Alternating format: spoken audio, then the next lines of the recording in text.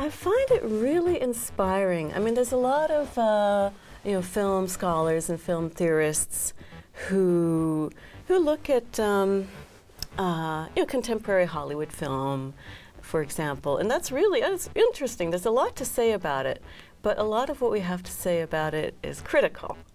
And I really love finding um, films and videos and media works by artists that I don't have to criticize. I don't have to say, oh, this is bad because it's like giving us the wrong impression of um, something about society. I can say, look at this. This is a really great uh, film or video or artwork and it, it makes us think in a new way and it gives us new new perceptions and it brings something new into the world. And I just, I love that. I just published a book, which I worked on for, goodness, about eight years, uh, dealing with um, looking at contemporary media art and seeing what kind of relationships it has to Islamic art and to Islamic philosophy, and saying, look, these are the Islamic roots or the heritage from the Muslim world that our contemporary media art has.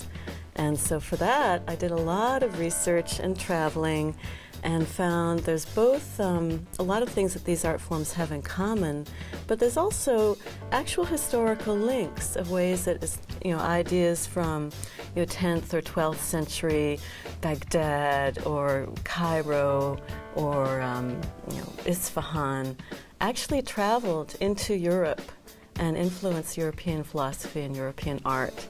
And then those ideas have come to our time.